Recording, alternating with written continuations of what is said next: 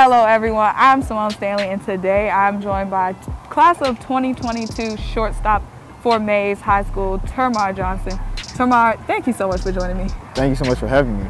Of course. so Termarr, obviously you're in the class of 2022, but you're already one of the top guys. Let's not even, you yes, know, ma'am. Yes, ma'am. keep it real. Yes, ma'am. But what part of your game are you working on the most in your last season at Mays?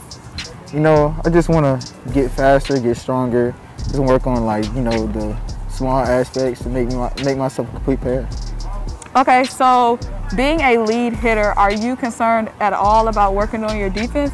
Or is that something that you're just letting it flow and let it come as it will? Yeah, definitely. You know, in the offseason, I've been working on my defense a lot. You know, I've just been trying to like work on just being lateral and getting to the ball quick and just making plays ultimately.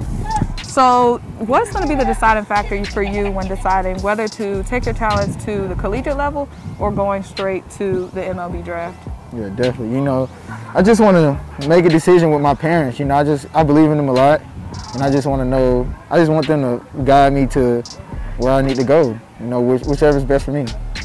So obviously the scouts have a lot of great things to say about you, but what do you think is the best part of your game? Definitely, I feel like a hit a lot. I just hit the ball. I get the ball far. I get the ball hard, and I just I can hit in any situation. I think coaches think I'm reliable, and I feel like I'm reliable. So what part of your game do you think people are sleeping on the most? Um, I feel like my fielding.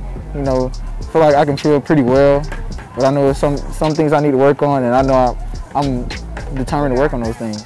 And how is Mays um, coaching staff and baseball program overall helping you work on those things? You know, Coach Austin and Coach Mike, they do a great job just staying on me, make sure I make my plays, I stay consistent, and I'm a, I'm a great teammate. And they also just work on my life skills outside of baseball in order for me just to stay out of trouble and be a great person.